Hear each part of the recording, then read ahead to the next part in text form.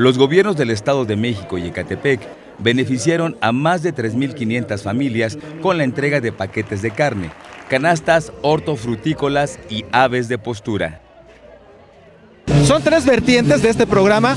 Se entregan por una parte un paquete de, aves de postura, que son 10 este, pollitos, que van a permitir estar generando semanalmente bien cuidados hasta 4 kilos de huevo, lo cual pues, representa un gran apoyo para la economía familiar. Otro gran número de personas que vinieron el día de hoy aquí en Ciudad Cuauhtémoc se están llevando 2 kilos de carne, que tiene bistec, chamberete y carne molida. Entonces, bueno, ese también es un gran apoyo para su economía familiar. Y finalmente, los paquetes hortofrutícolas.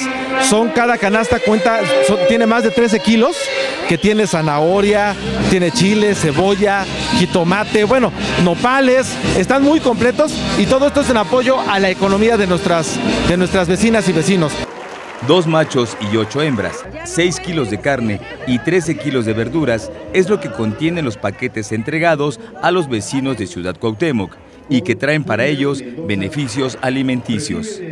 Eh, nos dieron fruta, verdura y este y nopales y pues para la casa para que los niños coman bien, nutritivo y sabroso. Es importante que los ecatepequenses tengan una mejor calidad de vida. Por eso, la entrega de estos productos sirve para contribuir a la economía y con el autoconsumo un ahorro significativo.